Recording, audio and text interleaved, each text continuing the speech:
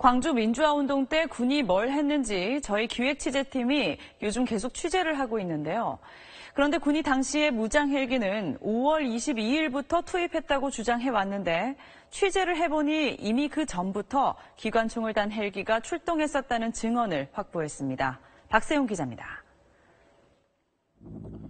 5.18 당시 공격 헬기를 총괄 지휘한 대대장은 95년 검찰 조사에서 무장 헬기가 처음 투입된 건 22일이었다고 강조했습니다. 하지만 SBS가 만난 공격 헬기 조종사는 이미 21일 이전부터 광주에서 무장 상태로 작전했다고 증언합니다. 신혼여행 갔다가 바로 들어오라고 그래서 들어온 거지. 내가 그러니까 확실히 기억나지. 5월 18일 한참 전에 가신 거예요? 그렇지, 한참 지내가. 그럼 무장하고 갔죠. 또 헬기 부대에서 근무했던 최형국 씨는 22일 전날인 21일 공격 헬기가 기관총을 쏘는 걸 봤다고 증언했습니다.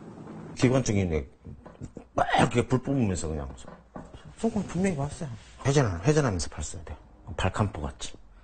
SBS가 입수한 505 보안부대 문건을 보면 공격 헬기인 500MD 두 대가 21일에 투입됐다는 기록도 나옵니다.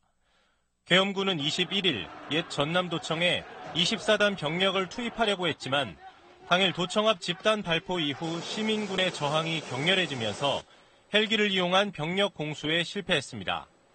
부대 진입 전 하천을 선정해 헬기 사격을 실시하라는 당시 작전 지침과 목격자들의 증언 내용을 보면 병력 이동 작전 과정에 무장 헬기가 광주천을 따라 엄호 사격을 했을 가능성이 있습니다. SBS 박세용입니다.